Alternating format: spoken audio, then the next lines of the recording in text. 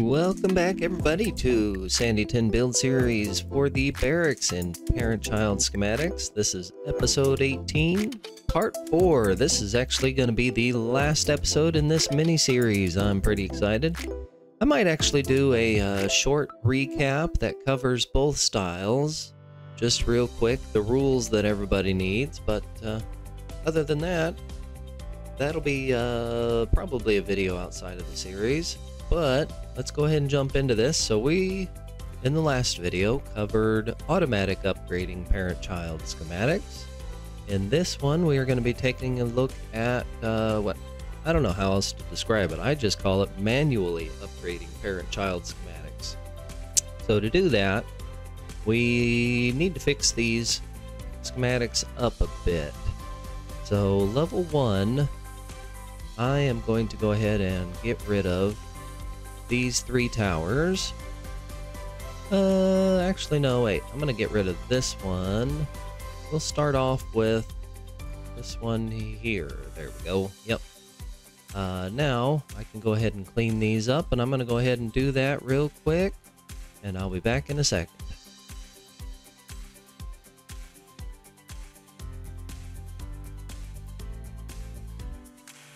Alright. So let's go ahead and talk about this for a second. I went ahead and removed the tower base here, uh, cleaned up the borders down here, so then we have this kind of a courtyard down here, and we'll have one tower up here. Uh, so now I need to go up, update the second schematic, third schematic, fourth schematic, and I will be back in just a minute. I'm going to go ahead and speed this up as I get to work, and then we'll cover those changes when we're done.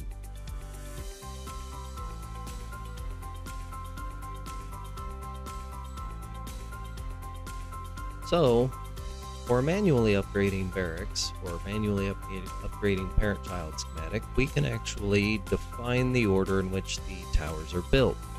This is the way it used to work originally until they coded it so that we could do this. Now, I would imagine you can actually do the same process, I think. I've, I've never tested it. Um, so I'm not sure if you put a, you know, if you only started with one tower here, by the time we get to level 4, you're going to have a mix of towers at various levels. And it might actually turn out pretty wonky uh, the way this barracks is designed, but it's okay because this is just an example, and you know, ultimately, it might just give you a little incentive to get these towers done uh, in quicker fashion than you otherwise might have. But anyways, let's jump into it. So, level one barracks has one tower. Level two barracks has two towers. Level three barracks, we have three towers. By level four, we have all four towers. Level five basically exists just to get all five or four towers up to level five, right? So now, in order to make this function safely and properly, we need to put in a whole bunch of placeholders. Uh, now, I'm not going to put any placeholders in level 1 if I wanted to, I could fill this space in with placeholders. That way, if you ever had to repair the level 1 barracks, um, your tower would be safe. I don't see that as necessary exactly, because if the level 1 barracks gets damaged for some reason, just upgrade it to level 2, right? Why would you repair level 1? Anyways, now what we are going to have to do, though, is go ahead and fill this space in here with placeholders where our tower will be. Because if we don't, when you upgrade the barracks to level 2, it's going to force air in all of that space where the tower is, and you are not going to have anything whatsoever. I need to leave a space there so that I can get back in here.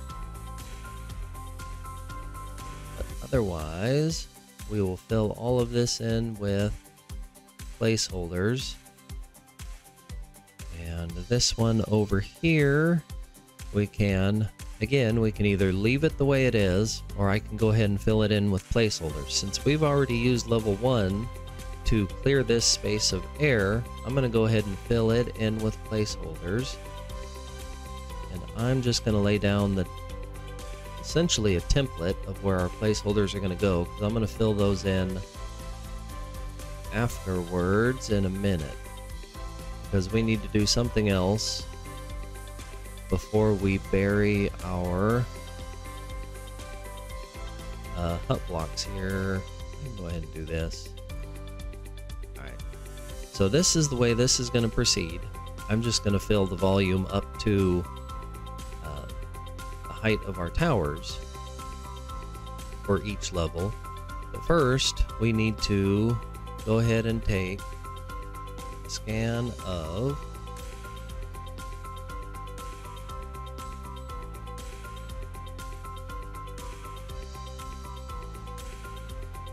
Okay, um, after testing, we have a slight problem, and I know what I did to make an error, or insert, insert an error into our build, so I just decided to randomly scan this barracks tower hut block, but if we come over here and look at our towers, uh, the hut block is actually facing a different direction, which means that when I went to test it in game, the rotation was broken. So we just have to scan this at the correct rotation. Yes, and now I have to go back through and paste all of these back in place. Uh, so there's your little uh, public service announcement on me making mistakes and correcting it, and then we will test it again and be back, and the video will continue shortly. It is just our hut block. You can actually scan the whole volume of the tower if you want to, but we need to do what we call setting a zero level schematic. So to do that, I need Sandyton slash military slash barracks tower zero. All right, and we can save that. That's now saved. All right, now we have to do the same process that we did for uh, our prior version, our auto upgrading. We need to do the same process of moving that schematic over to the proper folder. So let's open this up, grab our blueprints, Thaylar scans. Uh, should be just the military. Yep, there we go. So we can go ahead and cut that paste it back up here at our blueprints level folder. Uh, all of our style packs have to be in the blueprints folder here. Cannot be inside of our name, our own scan folder, which in this case Thaylar would be my scan folder. Has to be up here under the blueprints. Alright, so now that that is done, we can close those. And we'll just get back into game and I'll be back in a second. Alright, now that we are back in game, let's go ahead and see if we did that correctly. So we're going to come down here. Let's bring up our... Oh, there's Sandyton right there. Military, Barracks Tower. If you watched the previous video, we only had five levels of the Barracks Tower. You can see we now have six levels. This schematic is Barracks Tower 0. That's perfect. That is just what we want and need and I'm going to go ahead and paste it right in place of the uh, previous hut block. Now this is important because this links the child and the parent, right? Just the same way we did before. It's going to tell the, the parent building that this child is that schematic. It's something else entirely. So we can go ahead and go around, paste all these into place, uh, it really doesn't matter if you use schematic, paste, or constructed. I'm going to get this done in a jiffy and we'll be back in a second. Alright, we are back and I have gone through and pasted all of the uh, zero level hut blocks or zero level schematics into our builds here. So now all I actually need is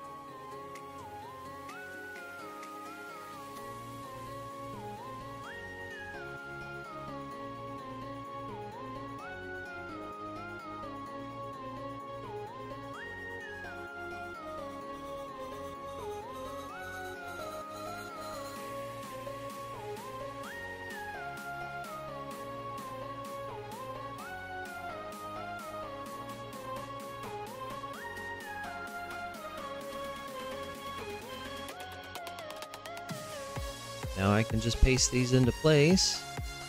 Schematic paste. And we've got a big power of placeholders. I can just go through and go ahead and do the rest of these.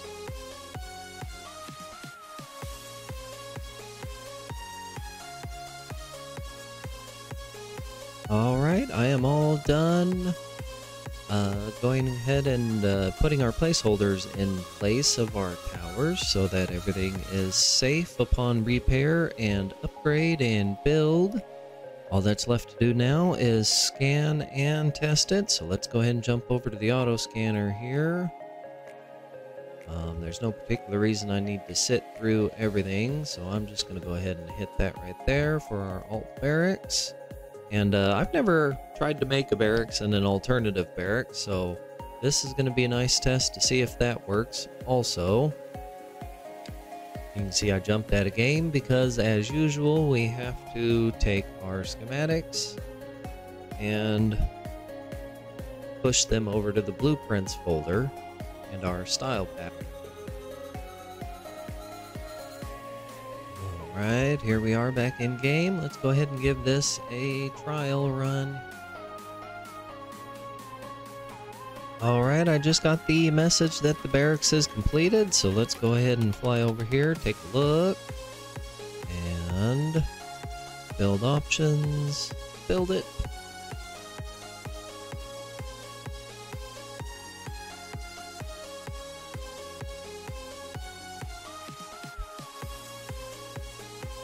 Here we are back in our test world. Now let's just go ahead and repair the barracks real quick.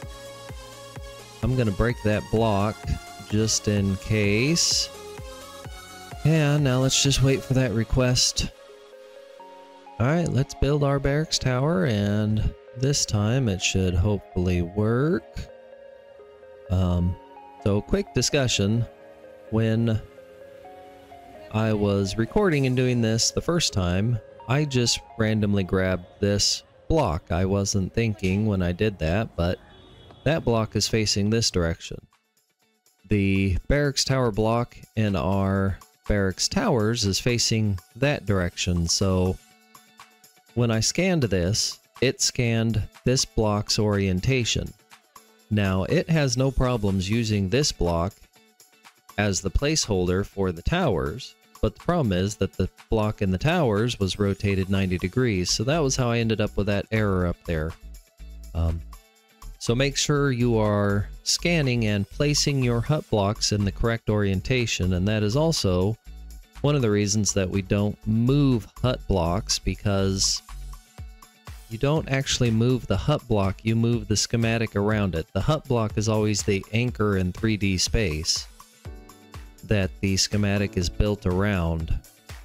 So you can see that just in that little rotation error, the entire schematic was turned and it was then out of alignment in 3D space and that's it. Our barracks tower was built correctly, uh, just like the other version down there, the automatic version. The only thing that's left to do is build this all the way up to level 5 build all the towers all the way up to level 5 just to ensure that everything is working properly, but that is it. That is the end of our discussion for parent-child schematics and the barracks. But other than that, thanks for joining me. I believe we start on either the archery range or the combat academy next week. I'm looking forward to moving on from something from the barracks here, just because the barracks is always kind of a pain in the butt. But thanks for joining me. We'll see you in the next video, and bye bye.